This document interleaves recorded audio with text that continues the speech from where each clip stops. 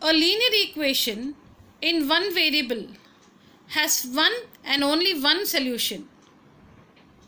This solution can be represented by a point on the number line.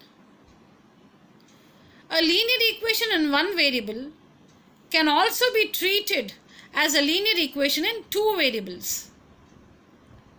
This can be represented as a line parallel to the x-axis or parallel to the y-axis or it could represent the x-axis or the y-axis itself in the Cartesian plane.